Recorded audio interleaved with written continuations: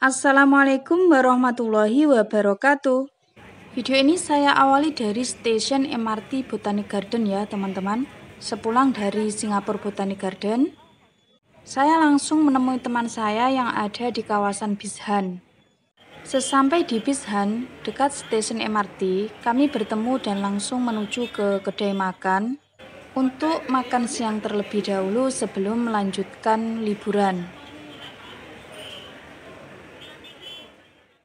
Selepas selesai makan siang, kami melanjutkan perjalanan menuju ke stasiun MRT Bayfront. Rencananya, kami ingin liburan menuju Garden by the Bay, Singapura. Ini adalah jalan menuju Garden by the Bay dari stasiun MRT Bayfront.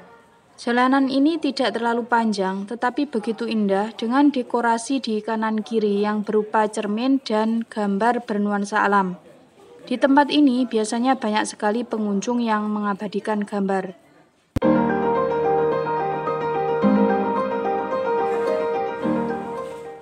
Pada kesempatan kali ini, kami akan jalan-jalan ke Garden by the Bay. Untuk lebih jelasnya, langsung saja yuk kita cek ke lokasi. Untuk menuju ke lokasi, kami mengambil lift terlebih dahulu hingga sampai di tempat ini. Kami sudah berada di kawasan Garden by the Bay ya, teman-teman. Mengikuti jalanan menuju ke arah jembatan, serasa berada di tengah-tengah kebun dengan berbagai tanaman di kanan kiri jalan.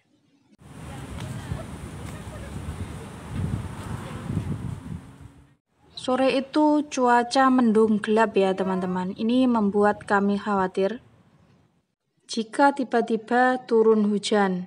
Tetapi kami siap membawa payung apabila benar terjadi hujan. Ini kami sudah sampai di Dragonfly Bridge.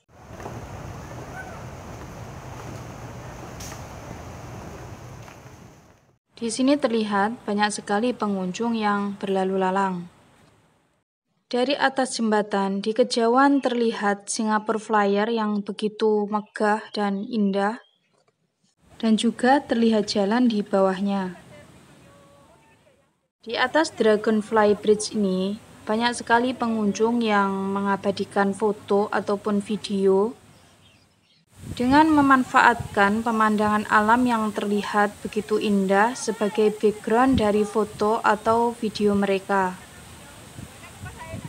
Di bawah ini ada Kingfisher Lake ya teman-teman dari Garden by the Bay.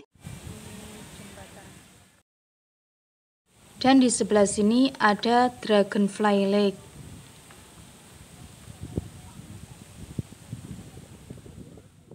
Pemandangan yang terlihat dari atas jembatan ini begitu indah, jadi tak heran jika banyak sekali pengunjung yang mengabadikan gambar di sini. Tempat ini tepatnya berada di belakang Hotel Marina Bay Sands ya teman-teman.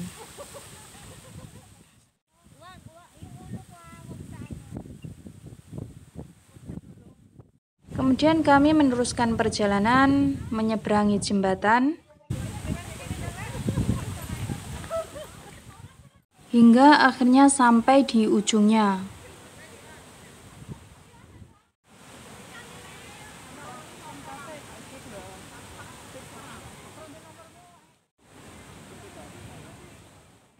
Sesampai di seberang jembatan, kami melihat ada petunjuk arah dan informasi tentang Garden by the Bay. Kami beristirahat sejenak di sini sebelum melanjutkan perjalanan. Tempat ini sangatlah luas, dibagi menjadi beberapa taman. Yang pertama, di sini ada tulisan Malay Garden, Taman Melayu. Tempat ini diberi nama Taman Melayu ya teman-teman. Seperti ini. Di situ ada jembatan. Dari sini kita masih bisa melihat Dragonfly Lake. Garden by the Bay merupakan salah satu objek wisata ikonik Singapura dan menjadi rumah bagi 700.000 dari 2.000 spesies. Kebun raya seluas 101 hektar ini memiliki pesona tersendiri, Adapun tempat-tempat menawan di Garden by the Bay di antaranya Super Tree Grove, Floral Fantasy, Flower Dome, dan Cold Forest atau hutan awan.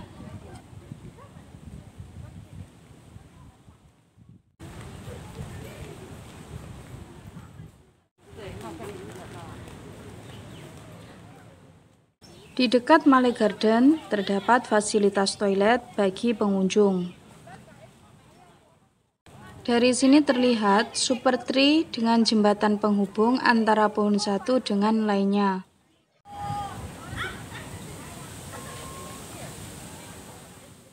Dari Malay Garden kita lanjut ke Chinese Garden, Taman Cina di Garden by the Bay. Seperti ini keunikan dan keindahan Chinese Garden di Garden by the Bay. Ada hiasan batu-batu yang unik dan juga kolam.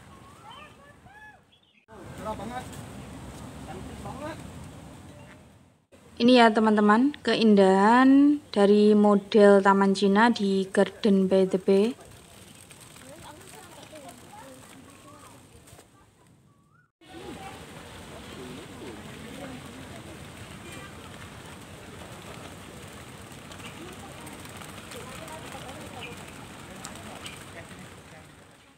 Setelah dari Chinese Garden, kami melanjutkan perjalanan ke taman berikutnya yaitu Indian Garden.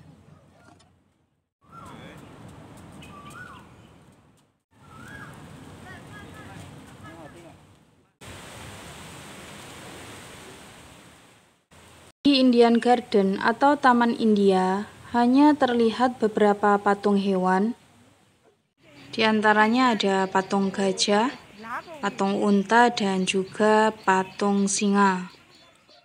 Dari Taman India atau Indian Garden, kami lanjut perjalanan hingga di tempat ini. Di sini terlihat kemegahan dari bangunan hotel mewah Marina Bay Sands, Singapura. Kemudian kami berjalan hingga ke tempat ini untuk membeli tiket masuk ke wahana Flower Dome. Untuk Flower Dome, saya akan membuatkan video sendiri terpisah dari video ini. Keluar dari tempat menawan Flower Dome, rupanya baru saja diguyur hujan deras tempat ini ya teman-teman. Terlihat genangan air, jadi agak terbatas pengambilan video kali ini. Di depan ini terlihat kemegahan Super Tree Grove yaitu pohon raksasa buatan setinggi 16 lantai dari baja dengan model vertikal yang lampunya menyala pada malam hari. Dari sini kami mencari jalan keluar melalui tangga menuju ke arah bawah. Di sini terlihat lebih banyak super tree yang akan terlihat lebih menarik saat malam hari ketika lampunya menyala. Di sini juga terdapat Super Tree Food Hall yang menyajikan berbagai macam jenis makanan dan minuman. Saat melanjutkan perjalanan keluar, kami menemui arwana akuarium yang menempel pada sebuah dinding. Kami akan keluar melewati gate di depan itu ya teman-teman. Sampai di area The Planet Floating Baby, hujan nampak cukup deras. Di area ini ada patung spektakuler, yaitu patung bayi mengambang seberat 7 ton sepanjang 10 meter. Patung itu bernama Planet, karya seniman Inggris Mark Quinn.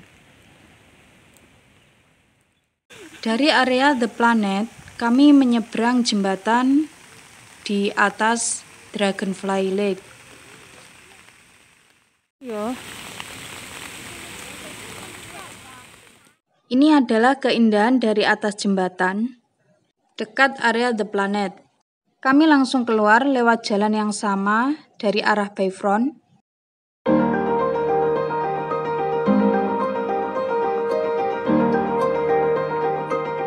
Dan singgah sebentar di Marina Bay Sands.